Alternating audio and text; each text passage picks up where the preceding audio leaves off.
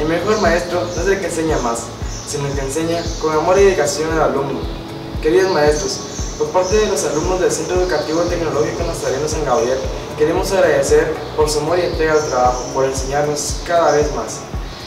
Mayormente por este tiempo de pandemia, queremos agradecer infinitivamente por el esfuerzo y la labor que están haciendo desde casa por enseñarnos. Gracias, feliz día de maestro.